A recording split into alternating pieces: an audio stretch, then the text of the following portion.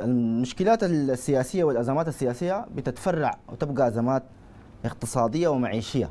يعني ده جزء من من التبعات اللي بتكون مرتبطة بالأزمات السياسية. يعني يكون في آه، أزمات أمنية أزمات مجتمعية أزمات اقتصادية. ده جزء من الأزمة السياسية اللي بتكون هي في الأعلى. فالآن نحن في السودان بنعيش أزمة سياسية وتجليات الأزمة السياسية.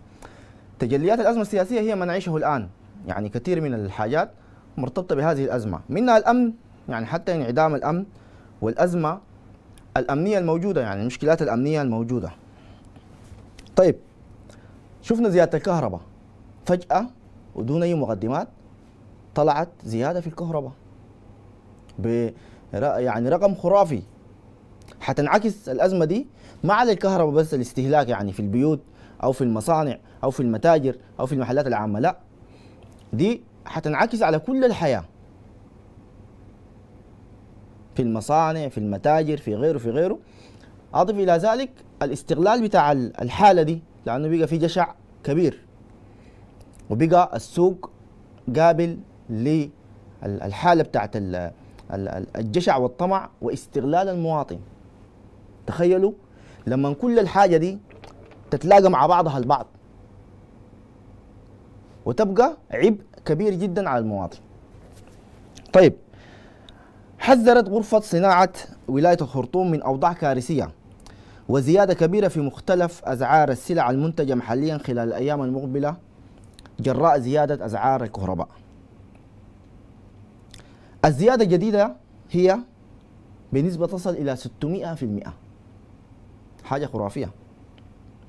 وما في توضيح طبعا ولا في جهة طلعت للناس قالت نحن المسؤولين من هذه الزيادة. حتى وزير المالية جبريل إبراهيم طلع قال ما في زيادة ما عارف. طيب العارف منه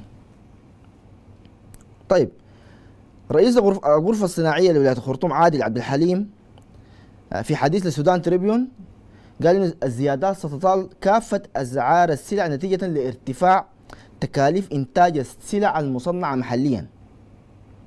بسبب الزيادة الأخيرة على أسعار الكهرباء وأن الأوضاع ستكون كارثية. هي الأوضاع أصلا كارثية لكن نشوف وصف ما بعد الكارثية. نشوف الوصف اللي ممكن يكون معقول شنو ما بعد الكارثية ممكن يكون شنو الوصف يعني.